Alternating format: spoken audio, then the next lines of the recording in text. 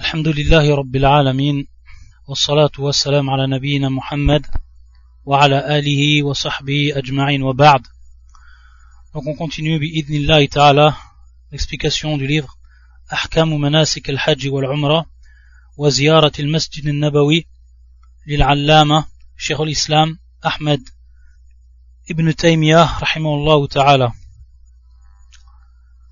Donc on était dans ce qui concerne les habits durant al-ihram, ce qui est permis, ce qui est interdit. Donc al-fasl, donc on voit que le shir, il nous parle en ce moment, dans ce chapitre, de tout ce qui concerne les habits et al-muhrim, celui qui est en état de sacralisation.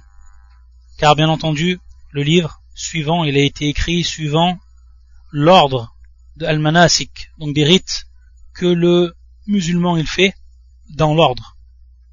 Au moment où il part de chez lui jusqu'à qu'il termine son hajj complètement, son pèlerinage de manière complète. Donc on s'était arrêté à cette phrase du shir, rahimallahu ta'ala, وله أن يعقد ما يحتاج إلى عقده كالإزار وهميان النفقة والرداء لا يحتاج إلى عقده فلا يعقده فإن احتاج إلى عقده ففيه نزاع والأشبه جوازه حينئذ. وهل المنع من عقده منع كراهة أو تحريم؟ فيه نزاع. وليس على التحريم ذلك دليل إلا ما نقل عن ابن عمر رضي الله تعالى عنهما أنه كره عقد الرداء وقد اختلف المتبعون إلى ابن عمر فمنهم من قال هو كراهة تنزيه فمنهم من قال هو كراهة تنزيه كأبي حنيفة وغيره ومنهم من قال كراهة تحريم Donc le shir, il va nous parler d'un point ici, c'est le fait d'utiliser une ceinture. D'une ceinture et tout ce qui ressemble à la ceinture, comme ficelle ou autre. Ce qui va servir à serrer donc al-izar, la partie qui va couvrir donc le bas du ventre jusqu'aux chevilles. Ça bien entendu c'est al-izar. Et l'autre partie, comme on a déjà vu, c'est al-rida, ce qui permet donc de couvrir la partie haute du corps de l'homme. Donc ici, il nous dit le shir, si al-muhrim, il a besoin donc de serrer une ceinture ou d'utiliser une ceinture pour serrer donc son izar, alors cela est permis. S'il en a besoin, cela est permis. Il nous dit Wahimyan. Imyan, c'est en réalité ce qu'on peut traduire par ceinture. Himyan. Et c'est de nos jours ce qui est utilisé, ce qui se vend, une ceinture donc, qui est de couleur blanche, et où il y a un emplacement pour pouvoir mettre son argent, etc. An-nafaqa. C'est pour ça qu'il dit le shir. Wahimyan in-nafaqa. Donc il n'y a pas de mal d'utiliser cela, comme il nous dit le shir, si on en a besoin. Pour ce qui est de rida, il nous dit rida, bien entendu, c'est la partie haute, donc, ce qui va recouvrir le buste de l'homme, à partir des épaules, etc. Donc il nous dit ici que pour cela, on n'a pas besoin d'utiliser une ceinture ou autre. On n'en a pas besoin. Donc il nous dit fala Donc on n'a pas besoin de serrer cette partie. Par contre, il dit si on a vraiment besoin, si on a besoin de serrer donc rida, il nous dit qu'il y a donc ici un irtilaf, qu'il y a donc une divergence entre les savants. Et ce qui va être le plus proche de la vérité, comme il nous dit, wal ashbah jawazu hina idin, c'est-à-dire donc, lui le shir il voit que il est alors permis cela. il va nous dire le shir, pour ceux qui ont interdit, il y a ceux qui ont autorisé, le shérif en fait partie, et il y a ceux qui ont interdit, qu'on utilise une ceinture ou autre pour pouvoir donc serrer rida, la partie haute donc. Et il nous dit, fi nizar, wa laysa ala tahrimi, wa na'am, wa hal al-mana, min aqdi man'u karaha, ou tahrim. Donc on sait que lorsqu'on dit le terme mana, mana qui est ici l'interdiction, lorsqu'on interdit une chose, on dit mana, du verbe mana. yamna' man'an. On sait que dans le langage conventionnel des salafs, ils utilisaient le terme donc tahrim ou alors man' dans deux cas. Lorsqu'ils voulaient par cela ce qui est détestable, donc karaha, et également ils l'utilisaient dans le cas de ce qui était interdit, bimarna muharram. Donc on voit le terme man', il va prendre ici deux sens. C'est soit donc karaha ou soit tahrim. Soit donc que c'est strictement interdit, ou alors que c'est détestable. Bien entendu, il y a une différence entre les deux compréhensions, car si c'est détestable, la personne, même si elle le fait, elle n'a pas, il n'y a pas de, de sentence qui en découle. Et donc, il ne tombe pas dans le péché. Par contre, si c'est tahrim, alors là, il y a une sentence qui en découle. Elle tombe dans le péché.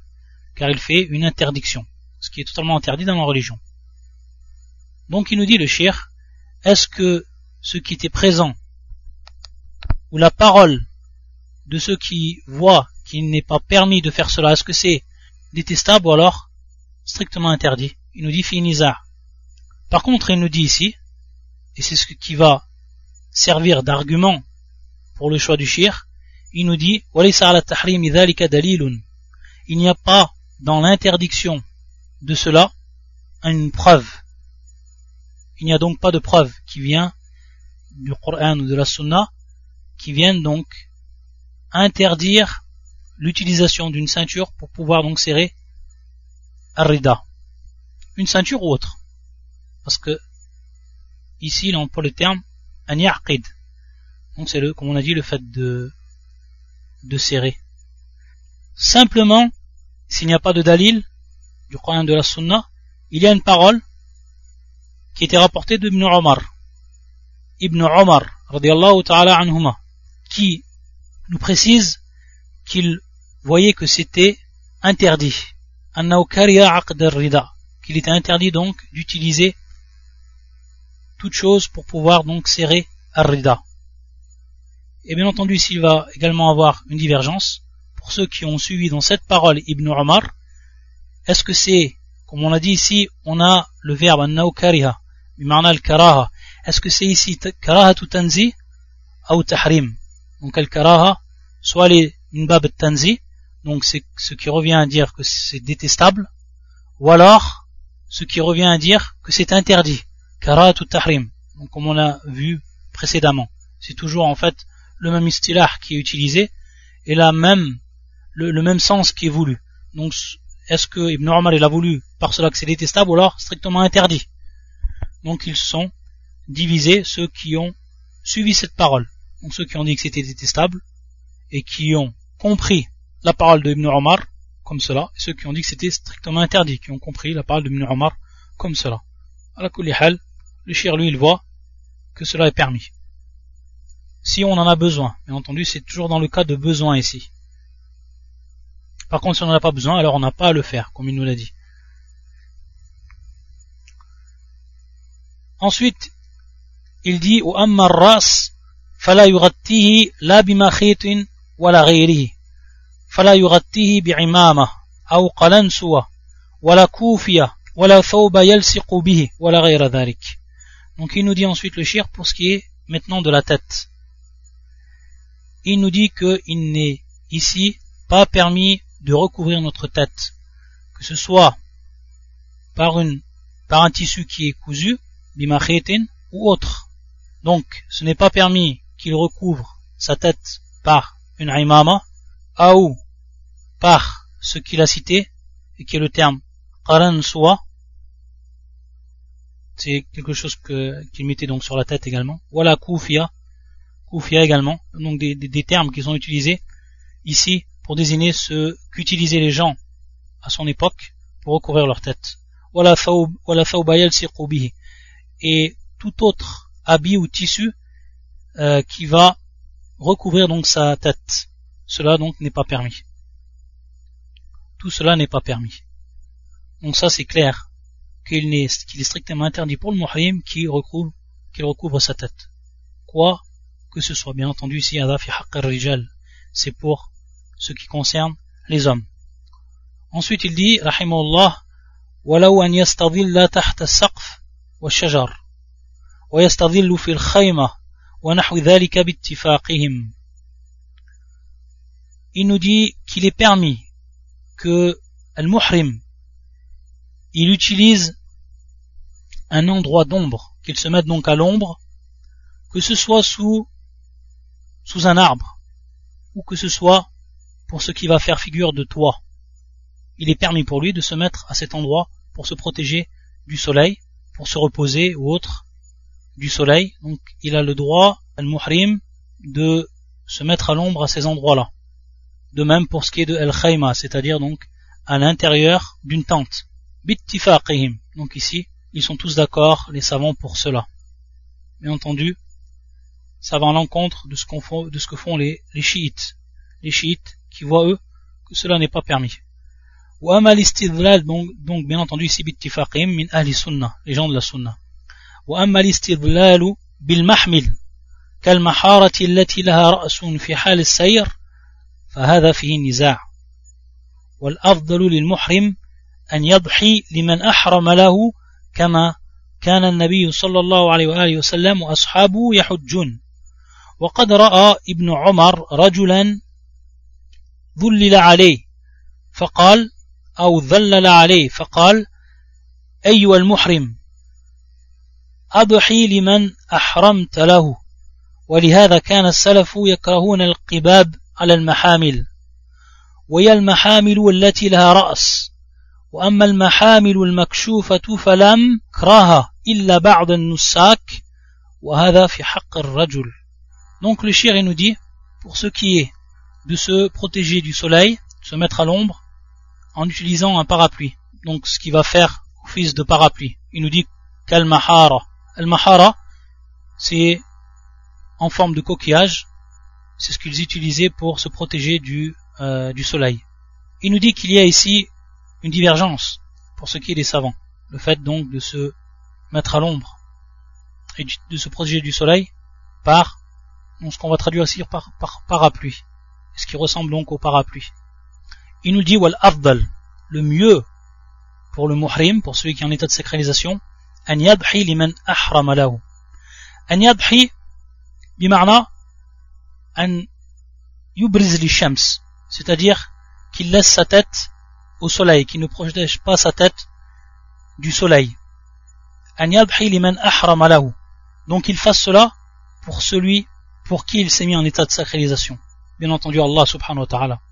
Car il nous dit dans un premier temps, que le prophète sallam et ses compagnons le faisaient de même, c'est-à-dire qu'ils ne se protégeaient pas du soleil, et également par ce qui va être rapporté de Ibn Omar, ta'ala anhuma, dans cette parole de lui, qui est rapportée par l'imam al-Bayhaqi, fi sunan al-Kubra, et qui est un athar de Ibn Omar qui est authentique, comme l'a authentifié Shir al-Albani, comme étant de Ibn Omar.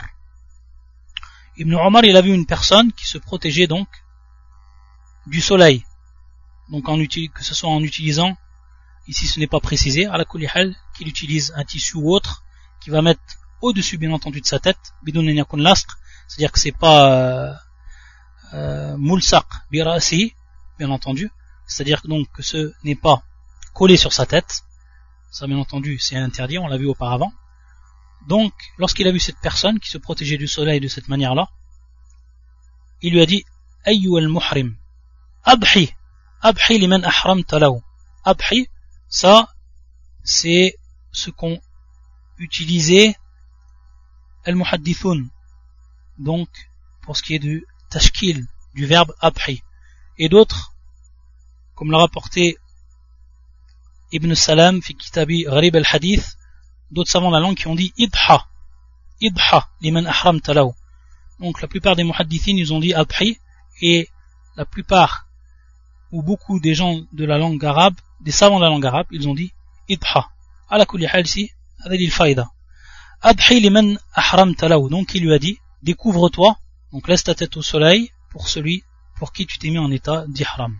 C'est pour ça que les salafs, ils détestaient l'utilisation de ce qu'on appelle el-qibab.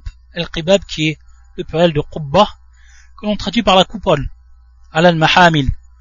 Donc on voit souvent, dans des anciennes images, lorsqu'ils utilisaient les chameaux, ils mettaient donc au-dessus du, chameau ce qui leur permettait de s'asseoir correctement par-dessus le, chameau, mais en même temps qui comprenait une sorte de coupole, qui comprenait une sorte de coupole, et cette coupole leur permettait de se protéger donc du soleil lorsqu'ils étaient à chameau. Donc c'est pour ça que les salafs ils détestaient qu'on utilise cela durant le hajj, lorsqu'on était donc à chameau. donc qui a une tête au-dessus donc, ce qui va ce qui va ici protéger du soleil. Donc par contre, ce qui sert de sel pour les euh, pour les chameaux, alors si elles sont dénuées de toute protection au-dessus, c'est-à-dire ce qui va de coupeau l'autre, ce qui va donc protéger du soleil, alors il n'y a pas de, de mal dans cela. Il ne détestait pas cela. Bien entendu, on est en train de parler pour ce qui est de l'homme. Par contre, pour ce qui est de la femme,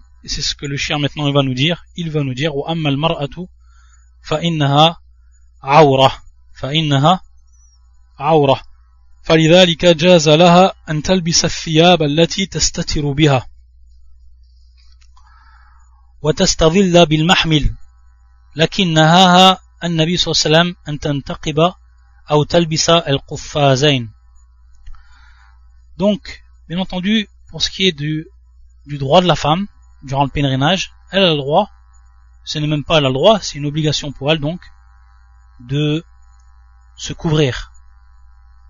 Et on sait, comme on l'a vu auparavant, ce qui est interdit pour la femme en état d'ihram, comme le prophète sallam dans le hadith authentique nous a dit, c'est-à-dire donc qu'elle utilise le niqab, qu'elle utilise également al-quffazain. Il nous dit le shir al-quffazan, ghilafun yusna'u C'est-à-dire, ici, c'est tout simplement donc un tissu qui va recouvrir les mains de la femme, qu'on appelle donc le gant, fait de tissu ou autre, et qui va recouvrir donc les mains de la femme.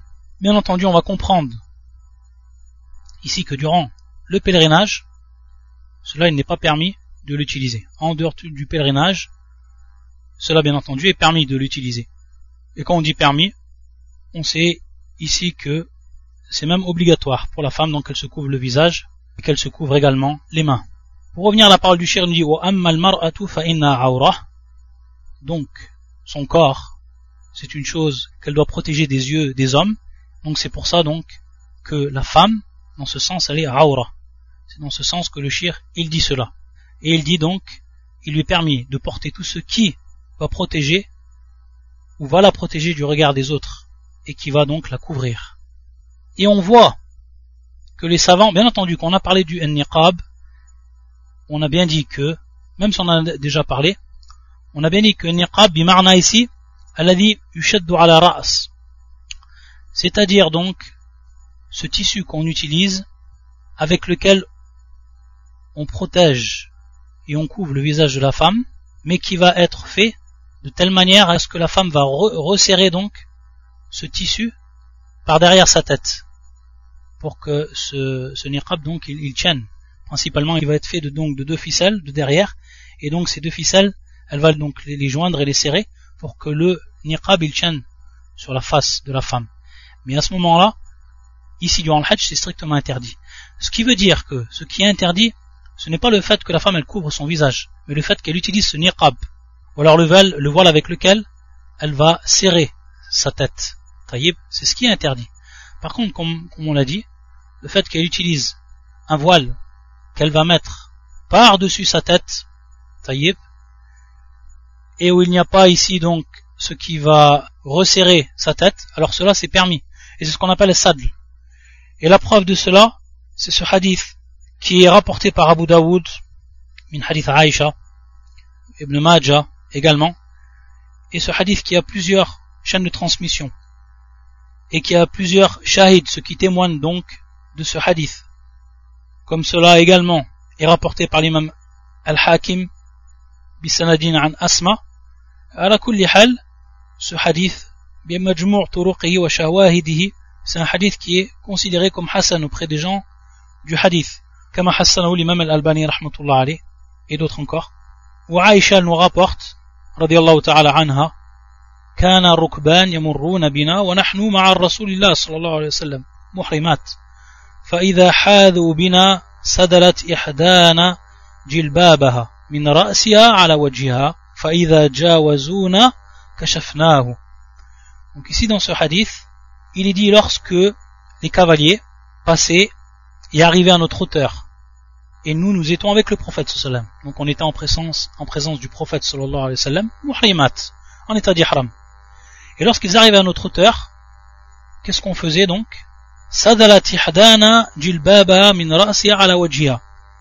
C'est-à-dire qu'elle faisait donc tomber ce tissu sur sa figure. Donc, elle le faisait retomber de sa tête sur sa figure.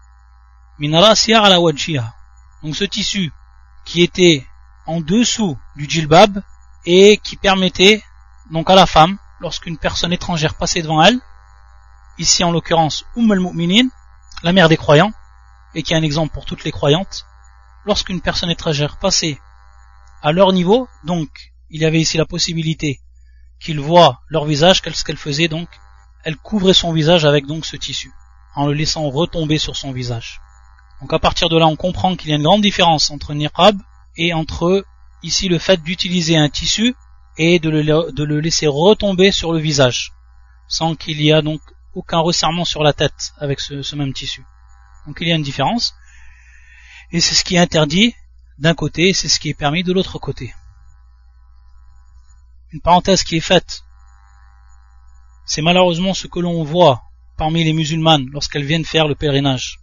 Allah al Des femmes dont on voit apparaître pour certaines d'elles leurs chevilles, dont on voit apparaître pour certaines d'elles leurs cheveux, dont on voit apparaître pour certaines d'elles une partie de leur poitrine.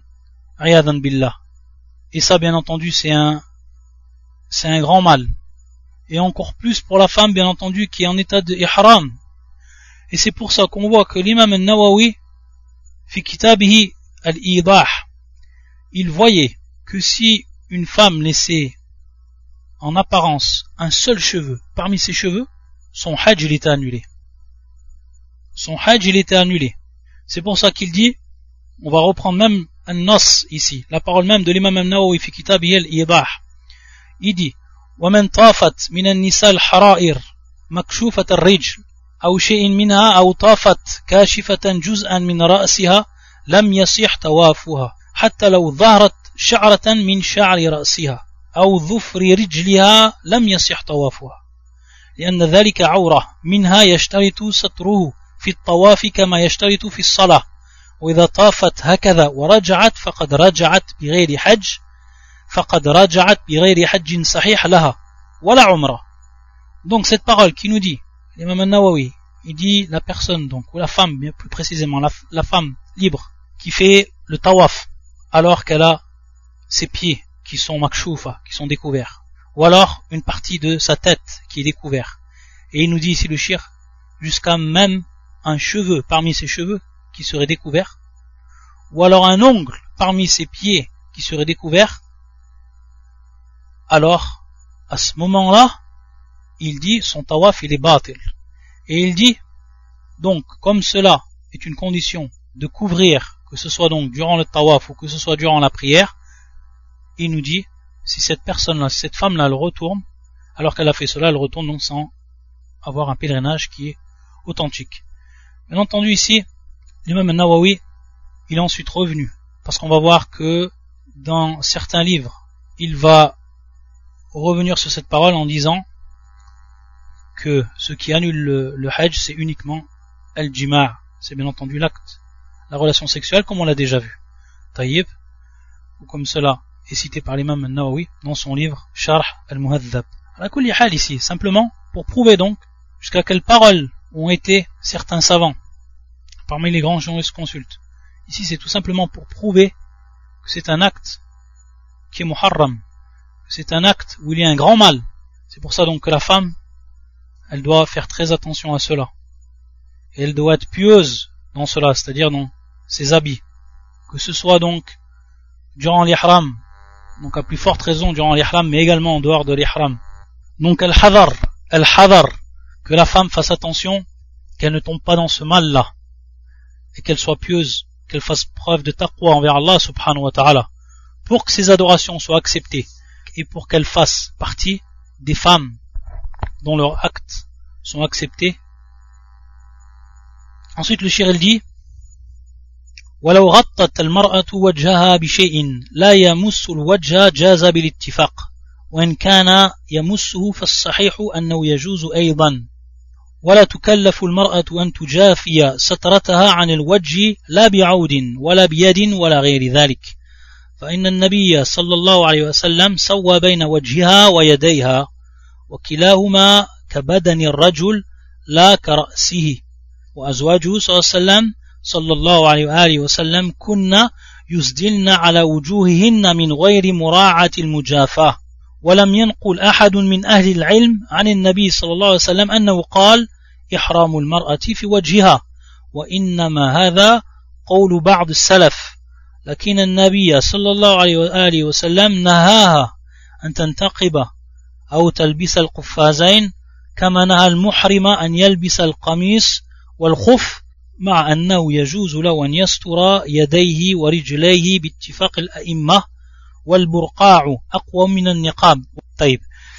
Ensuite, le shir nous dit, ici, il est toujours en train de parler de couvrir le visage de la femme.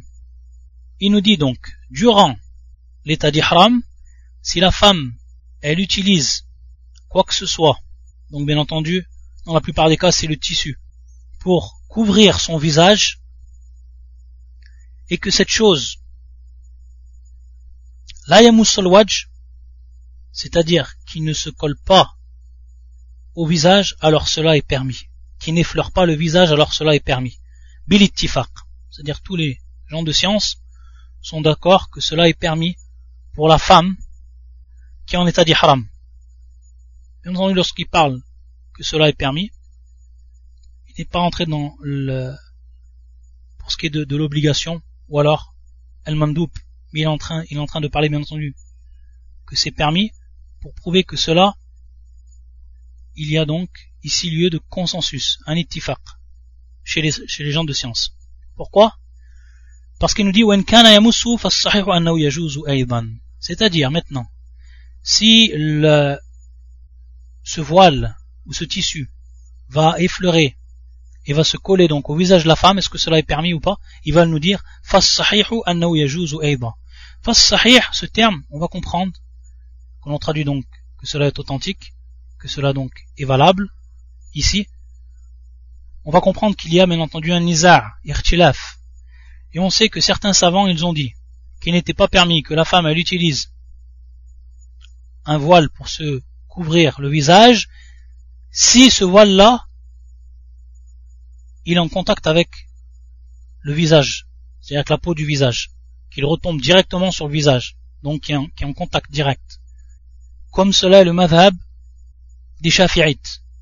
Et c'est pour ça donc qu'on voit certaines sœurs durant le pèlerinage et qui, qui recouvrent donc leur visage, elles utilisent, comme il nous a dit le shir donc, ici, bil'aoud ou bilyad, etc., elles utilisent donc une chose qui va faire que ce voile, lorsqu'il redescend sur leur visage, il ne va pas être en contact direct avec le visage donc sur le front, elles vont soit mettre par exemple, comme il dit le, le quelque chose donc qui va faire que le voile ne va pas être en contact directement avec la peau du visage, avec le visage donc.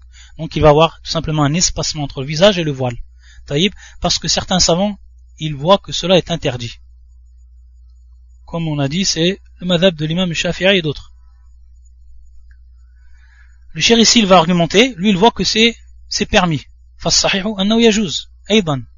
Il voit que lui que c'est permis, c'est-à-dire même si le, voile il touche directement le visage, qu'on fait tomber le voile et qu'il est en contact directement avec le, visage, il n'y a pas de problème pour cela. Il argumente le shir, il va nous dire qu'on ne peut charger la femme de cet acte-là, c'est-à-dire un tujafiya satrata, c'est-à-dire donc qu'elle fasse qu'il y ait un écart entre le voile et son visage. Et il nous dit que le prophète sallam il a rendu le visage et la main de la même manière. De la même manière. Taïb.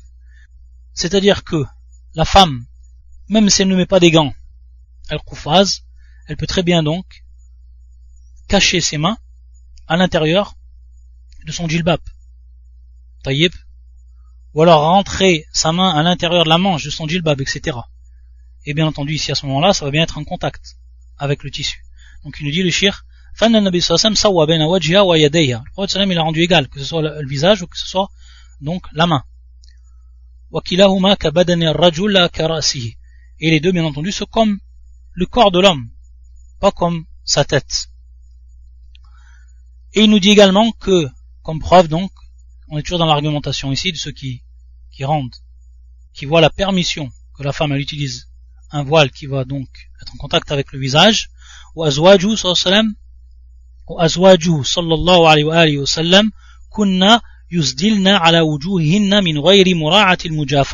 Et comme on l'a vu donc dans le hadith de Aïcha, de Umm Salama également, que les femmes du prophète, les mères des croyants, elles utilisaient donc le sadl, donc le fait de faire retomber le tissu sur le visage de la femme, sans prendre en considération le fait que ça va toucher le visage ou pas.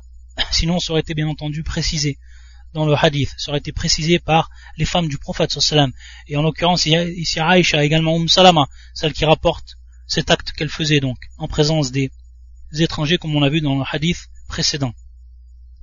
Il nous dit également que personne parmi les gens de science ont rapporté que le prophète sallam a dit ihramul mar'a fi wajhiha que donc la sacralisation, l'ihram de la femme, c'est dans son visage.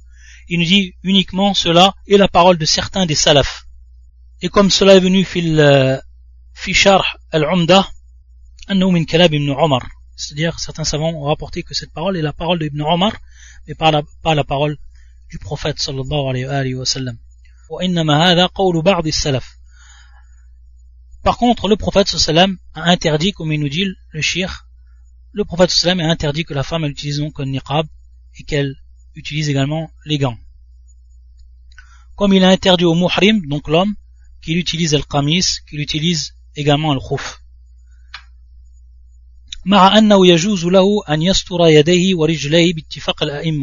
alors que, que l'homme également il peut s'il veut protéger donc ses mains protéger également ou recouvrir ses mains et recouvrir également ses pieds ensuite il dit wal burqa' أقوى من النقاب فلهذا ينهى عنه باتفاقه donc ici il nous parle de ce qu'on appelle le burqa le burqa il nous dit que cela est plus fort que le niqab dans le sens que le burqa c'est donc un tissu غطاء يفصل بقدر الوجه ويجعل له ثقبان حذا العينين donc ici c'est tout simplement un tissu qui va recouvrir un tissu qui va recouvrir le visage de la femme et dont on va faire deux trous dans ce visage pour que la femme elle puisse voir. Donc simplement deux trous pour que la femme elle puisse voir. Donc bien entendu al qadr al suivant les deux yeux de la femme pour qu'elle puisse voir. Et donc il va être encore plus, il va couvrir encore plus que un niqab. C'est dans ce sens qu'il dit wal burqa'u aqwa min niqab. C'est pour ça que le burqa' il est également interdit comme un niqab durant al-ihram bittifaqihim, c'est-à-dire par le consensus des savants.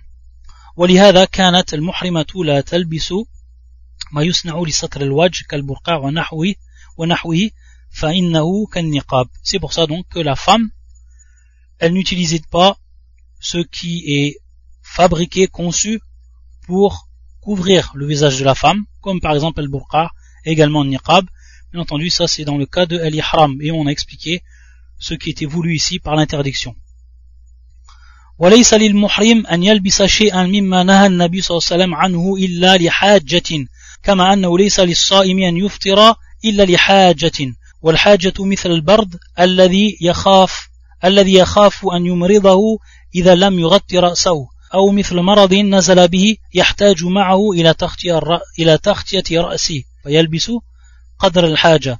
فإذا استغان عنه نزع وعليه أن يفتدي إما بصيام ثلاثة أيام وإما بنسك شاة إما بنسك شاة أو بإطعام ستة مساكين لكل مسكين نصف ساع من تمر أو شعير أو مد من بر وإن أطعمه خبزا جاز ويكون رتلين بالعراقي قريبا من نصف رت بالدمشقي على كل حال ici le cher ensuite il va nous dire il va revenir donc il a parlé des habits toujours et on est toujours dans ce qui concerne les habits mais les dernières paroles c'était plus précisément pour ce qui était de l'ihram de la femme ensuite de manière plus générale et ici concernant donc l'homme il va nous dire que le muhrim il ne doit pas se vêtir de ce que le prophète sallam a interdit. Sauf dans un cas de haja, dans un cas de nécessité. Et il nous dit ici, le shir, le cas de nécessité, c'est comme la nécessité que le jeûneur, il éprouve lorsqu'il doit rompre son jeûne. C'est la même chose. Il nous donne des exemples de cette nécessité. Il dit, et il nous dit comme un froid un froid dont le muhrim, il aurait peur qu'il l'atteigne et qu'il l'onque sur la cause de sa maladie. S'il ne couvre pas sa tête. Donc si un froid, comme un courant d'air, il se trouve dans un endroit où il y a un courant d'air qui est très fort, et donc, s'il ne, à ce moment-là il ne se couvre pas sa tête, il a très peur qu'il attrape froid. Donc à ce moment-là, il lui est permis de se couvrir la tête. Taïb, de même, il nous dit, si par exemple, il a une maladie qui lui est arrivée, et cette maladie lui oblige à se couvrir la tête. Alors à ce moment-là également, il couvre sa tête, parce qu'il est fihal haja. Il est dans un état donc de nécessité. Bien entendu, comme on l'a vu également cela dans les règles, donc on voit ici une parenthèse que l'on fait. Les règles qu'on est en train d'étudier dans le livre de Shir Sardi rahmatullah on voit leur application ici dans le livre, lorsqu'il parle de al-hajj, la nécessité. On a vu des règles qui touchaient à cela. Donc on voit leur application dans la jurisprudence. Et on va voir encore, le shir il va nous parler un peu plus loin, si on a le temps, il va nous parler de l'urf. Il va nous parler de l'urf. Et l'urf, on a fait deux ou trois cours sur cela, à partir du livre de Shir Sa'di, al-Qawaid. Donc on voit l'importance de ces règles, et on voit ici, la personne qui a bien suivi et compris la règle, on voit ici son domaine d'application directement. Donc on voit le faïda, c'est-à-dire celui qui a réellement étudié, qui a compris ces règles, il en voit ici le résultat, il en voit ici l'intérêt qu'il en, tire. C'est-à-dire qu'il va se vêtir de cela, il va recouvrir sa tête juste ce dont il a besoin, rien de plus. Par exemple, s'il a une maladie qui doit se couvrir uniquement une partie de sa tête, alors il couvre simplement une partie de sa tête, ce dont il a besoin uniquement. Donc il ne dépasse pas par rapport à cela. Et ensuite, lorsqu'il n'a plus besoin de cela, donc il sort de, de la nécessité, alors il enlève directement ce qui lui recouvrait sa tête.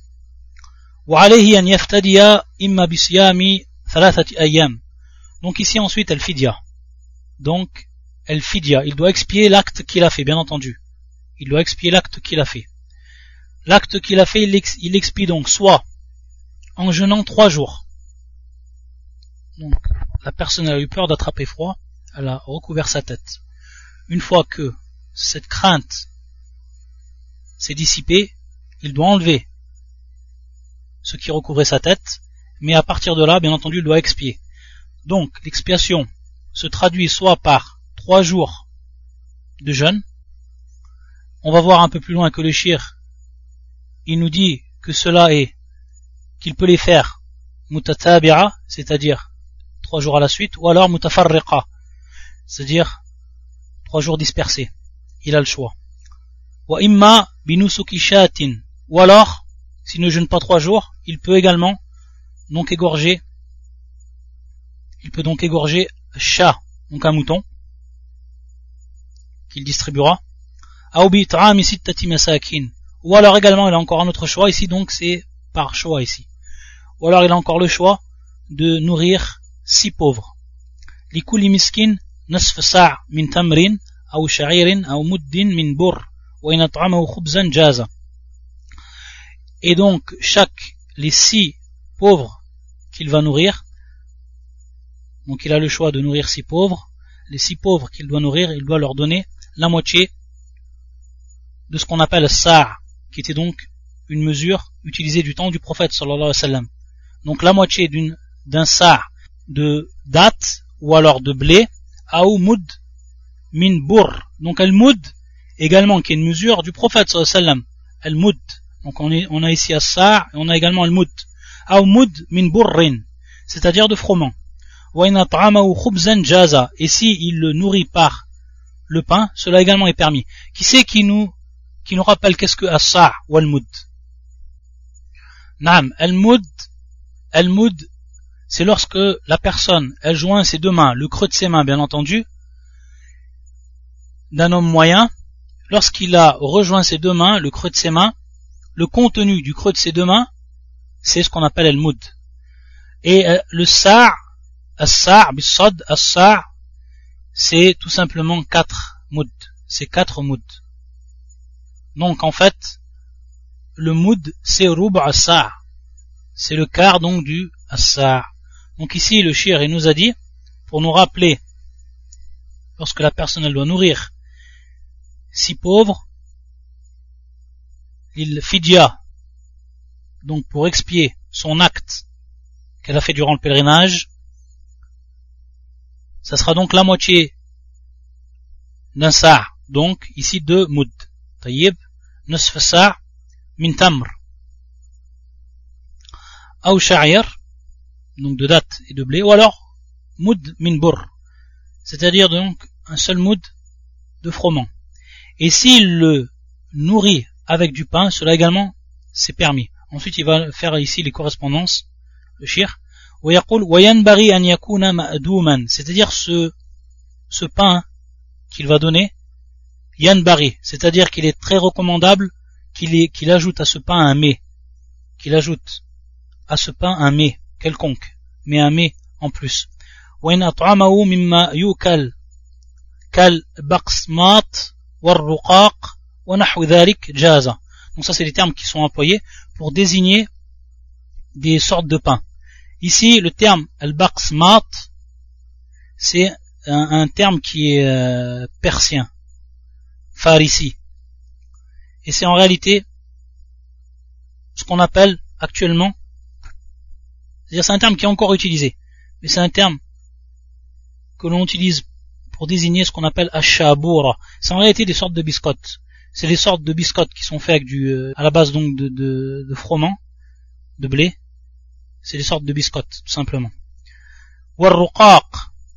Ruqaq, c'est un khoubz qui est raqiq. C'est un, c'est une sorte de pain qui est fin. Donc tout ça, c'est des sortes de, de pain ou alors de biscottes. jaza. Donc c'est également permis. afdal min an yu'tiyahu qamhan aw sha'iran. وكذلك في سائر الكفارات إذا أعطاه مما يقتات به c'est-à-dire, le shir nous dit qu'il est même préférable qu'il donne cela au lieu qu'il donne tout simplement du blé. C'est-à-dire le, le, blé en, c'est-à-dire le, le, blé en, euh, en grain, Il est mieux donc qu'il lui donne un plat qui va être prêt, que ce soit donc du khoubz mélangé avec un, un avec un mets, et qu'il lui donne donc directement. C'est également valable pour les expiations, c'est-à-dire le fait de donner une nourriture qui est prête à la, personne, c'est bien mieux que lui donner euh, des, choses dont il doit euh, moudre, comme par exemple le, blé, etc. Taïb, c'est pour ça qu'il dit ensuite euh, Afdal min an yu'tiyahu habban mujarradan idha lam yakun 'adatuhum an yathhanu bi aydihim ويخبزوا بأيديهم والواجب في ذلك كله ما ذكر الله تعالى بقوله donc ici il est bien bien meilleur et bien plus profitable pour le pauvre qu'il reçoit donc un mets qui va être prêt. Taïb que ce soit de roubs ou autre si bien entendu à une condition il nous dit le shir si il n'est pas de l'habitude des gens qui vont recevoir cette nourriture s'ils n'ont pas l'habitude bien entendu de moudre le blé etc s'ils ont l'habitude alors il n'y a pas de mal à, à donner le donner en blé directement. Et il nous dit donc al-wajib, ce qui est à la kulli ici, l'obligation même, donc il revient à l'obligation même, al-asl, la base même, c'est ce que nous rappelle Allah Azzawajal, fi surat al-Ma'ida, qui est le verset 89, où Allah Azzawajal yaqul, إطعام عشرة مساكين من أوساط ما تطعمون أهليكم أو كسوتهم L'expression sera de nourrir des pauvres de ce dont vous nourrissez normalement vos familles, ou de les habiller ou de libérer un esclave. Donc il nous dit le shir, فأمر الله تعالى بإطعام المساكين من أوساط ما يطعم الناس c'est-à-dire ici, lorsqu'on nourrit nos familles de manière tout à fait normale, c'est ce qui est voulu ici, c'est ce qui est le wajib, qu'on donne donc la même à ces pauvres-là. Bien entendu ici, le, verset il est pour, pour ce qui est de kafaratul yamin, taïb, donc l'expression du serment. Ça, bien entendu, c'est euh, ce, qui, ce, qui, concerne le, verset. Mais, bien entendu, le shir nous a dit, wal wajib, pour tout ce qui est des al-kafarat, des expiations. Taïb. Donc ensuite, il dit, le shir, qu'Allah Azzawajal a obligé qu'on nourrisse ces pauvres-là avec ce dont on nourrit nos propres familles de manière normale, sans exagération et sans être avare. وقد تنازع العلماء في ذلك هل ذلك مقدر بالشرع أو يرجع فيه إلى العرف وكذلك تنازعوا في النفقة في النفقة نفقة زوجة والراجح في هذا كله أن يرجع فيه إلى العرف فيطعم كل قوم مما يطعمون أهليهم Donc il nous dit ici que les savants, ils se sont divisés pour ce qui est de savoir lorsqu'on donne aux pauvres, que ce soit donc durant l'expiation, durant le pèlerinage ou en dehors du pèlerinage, comme par exemple kafaratul yamin. Est-ce que cela est muqaddar bishara Est-ce que cela donc est prédéterminé par la législation ou alors que cela revient à ce qu'on appelle l'urf Donc on voit ici un terme qu'on a déjà étudié avec d'après le livre de Al-Qawaid al-Sa'diya. Donc est-ce qu'on utilise ici? Dans un premier temps, est-ce que c'est prédéterminé par la législation ou alors est-ce qu'on revient, on revient ici à l'urf? Donc ce que les gens ils se nourrissent de manière habituelle, que ce soit à une période bien précise, que ce soit dans un pays bien précis, dans une contrée bien précise, etc. Donc le shir il va voir que rajih, la parole la plus forte et l'avis la le plus solide ici, c'est qu'on fait revenir cela à al-urf, c'est-à-dire donc que cette expiation qui va se traduire par la nourriture de ces pauvres, cette nourriture-là, on revient à al-urf pour la déterminer. Al-urf qu'on traduit par l'habitude, etc. Et ensuite il nous dit ولما كان كعب ابن عجرة ونحوه يقتاتون التمر. أمره النبي صلى الله عليه وسلم أن يطعم فرقا من التمر بين ستة مساكين. والفرق ستة عشر رطلا رطلا بالبغدادي وهذا الفدية يجوز أن يخرجها إذا احتاج إلى فعل المحظور قبل وبعده. ويجوز أن يذبح النسك قبل أن يصل إلى مكة. ويصوم الأيام الثلاثة متتابعة إن شاء ومتفرقة إن شاء. فإن كان له عذر أخر فعلها وإلا عجل فعلها وإذا لبس ثم لبس مرارا ولم يكن أدى الفدية أجزأته فدية واحدة في أظهر قولي العلماء Donc ici le shir, comme on l'a dit auparavant, il va nous parler de plusieurs choses pour ce qui est de l'expiation. Ici il nous dit, c'est pour ça que Karb ibn Ujra, on sait que Karb ibn Ujra, c'était un sahabi qui a fait le pèlerinage avec le prophète sallam, et il lui est advenu une maladie. Lorsqu'on l'a, comme cela est rapporté par l'imam al-Bukhari, l'imam muslim dans leur authentique, lorsqu'on a conduit Karb auprès du prophète sallam, et il avait sur sa tête des poux, il avait tellement des poux que ça se voyait, ces poux, qui sautaient sur son, euh, sur ses cheveux. Donc il avait une maladie. Et donc, le prophète sallallahu alayhi wa sallam, il lui a dit donc de raser sa tête. Bien entendu, c'est interdit pour ce qui est de le de raser, sa tête lorsqu'il est en état d'ihram. Donc il lui a dit donc de raser sa tête, et ensuite il lui a dit Sum thalathat ayam ou at'im sittata masakin likulli miskin nusf sa' min ta'am wa haliq ra'sak. Donc il lui a dit donc de jeûner trois jours, ou alors de donner à manger à six pauvres. Et pour tout pauvre, nusf sa', c'est-à-dire donc qu'il donne la moitié d'un sa'. Taïb. Et on a vu, par rapport donc à la nourriture, la nourriture qui est donnée habituellement. Comme on a vu la parole que le shir il a choisi. Et ensuite il a dit donc de, de raser sa tête. Donc à partir de là, le shir il nous dit, lorsque les gens, à ce moment, du temps du prophète sallam, ce qu'ils utilisaient le plus comme aliment, c'était at-tamr, alors il lui a dit de donner faraqan min tamr. Faraqan min tamr, faraq qui est encore une mesure ici. dont le chef nous donne l'équivalent, à la kulihal, min tamr, Donc comme cela est rapporté dans certaines versions. Ensuite, dans la version même de l'imam al-Bukhari, où il dit Soum thalathat ayam ou tasaddaq bi faraqin bayna sittatin aw unsuk bima tayassar. Naam, et donc il prend cela comme, comme preuve pour dire donc que l'on revient ici à l'urf. Également, il nous dit le shir que al-fidya, d'après ce hadith, que al-fidya, il est permis qu'on la, qu'on la sorte, donc cette expiation, il est permis à yukhrijaha qu'il la sorte lorsqu'il en a besoin. Lorsqu'il a besoin de faire l'acte qui est donc interdit, mahdour, que ce soit avant ou après. Par exemple, ici, le prophète sallam, il lui a, il a dit dans, dans la version, ou dans le premier hadith, ou la première version de l'imam al-Bukhari et l'imam muslim, il lui a dit donc, de jeûner trois jours, ou de nourrir les pauvres. Ensuite, il a dit, wahliq ra'asak. À la hadith, donc, il est permis que la personne avant même qu'elle ait à faire cet acte interdit qu'elle fasse déjà son expiation.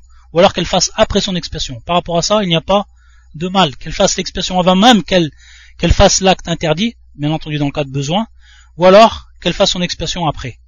Taïb. La deuxième chose qui est également permis pour ce qui est de l'expiation, c'est que s'il choisit d'égorger le mouton, alors il lui est permis d'égorger ce mouton avant même qu'il arrive à Mecca.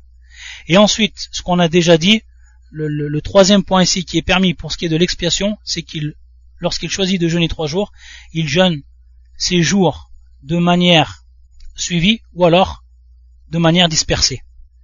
Et également, une dernière chose que le shir, que le shir cite ici, un point de jurisprudence, et dont il y a divergence chez les savants, et lui, il va nous donner son choix, cher l'Islam ibn Taymiyyah, si la personne, à titre d'exemple, il faut qu'elle recouvre sa tête plusieurs fois. C'est-à-dire qu'elle fait ce qui est à la base interdit pour un besoin, mais qu'elle doit le faire plusieurs fois. C'est pour ça qu'il dit qu'il s'habille ou qu'il recouvre plusieurs fois. Il dit qu'il a uniquement à expier une seule fois et que cela va le compenser même s'il a fait cet acte plusieurs fois. Taïb. Et ça, bien entendu, il dit, c'est la parole qui est la plus apparente parmi les deux avis des savants, c'est-à-dire la parole la plus forte, et c'est celle qui est choisie par le shir ici. C'est-à-dire que la personne, s'il fait plusieurs fois l'acte qui est haram, une seule fidya, c'est-à-dire donc une seule, euh, une seule expiation lui suffira. Taïb. Ensuite, il y a une nouvelle fasl, un nouveau chapitre, qui est toujours dans l'Ihram, qui sera Talbiya. On commencera la semaine prochaine, Inch'Allah. Wa bihamdika.